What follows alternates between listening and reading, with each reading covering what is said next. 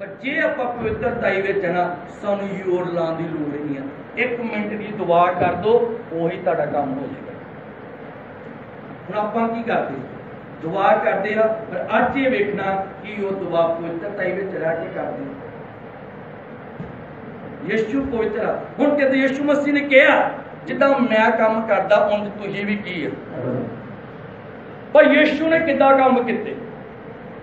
ਕਿੱਦਾਂ ਕੀਤੇ? ਉਹ ਪਵਿੱਤਰਤਾਈ ਵਿੱਚ ਰਹਿ ਕੇ ਉਹਨੇ ਕੀ ਕੀਤੇ ਯਿਸੂ ਨੇ ਕਿਹਾ ਮੇਰਾ ਨਾਮ ਲੈ ਕੇ ਮੰਗੋਗੇ? ਬਾਹਰੋਂ ਲੜਕੇ ਆਂਦੇ ਆ। ਇੱਕ ਉਦਾਹਰਨ ਬਾਹਰੋਂ ਲੜਕੇ ਆਏ। ਚਰਚ ਵਿੱਚ ਆਪਾਂ ਕਿਹਾ ਯਿਸੂ ਮਸੀਹ ਤੇਰੇ ਨਾਮ ਵਿੱਚ ਇਦਾਂ ਹੋ ਜੇ ਕਿੱਦਾਂ ਹੋਵੇਗਾ?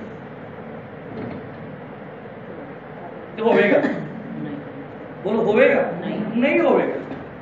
ਕਿਉਂਕਿ ਮੈਂ ਆਪ ਪਵਿੱਤਰ ਟਾਈ ਦੇ ਵਿੱਚ ਯਿਸੂ ਮਸੀਹ ਨੂੰ ਪੁਕਾਰ ਰਿਹਾ ਹਾਂ। ਮੈਂ ਆਪ ਪਵਿੱਤਰ ਟਾਈ ਵਿੱਚ ਮੈਂ ਯਿਸੂ ਨੂੰ ਬੁਲਾ ਰਿਹਾ।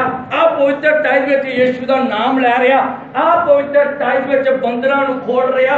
ਆਪ ਪਵਿੱਤਰ ਟਾਈ ਵਿੱਚ ਬਿਮਾਰੀਆਂ ਨੂੰ ਡਾਂਟ ਰਿਹਾ। ਆਪ ਪਵਿੱਤਰ ਟਾਈ ਵਿੱਚ ਮੈਂ ਸਭ ਕੁਝ ਕਰ ਰਿਹਾ ਆ।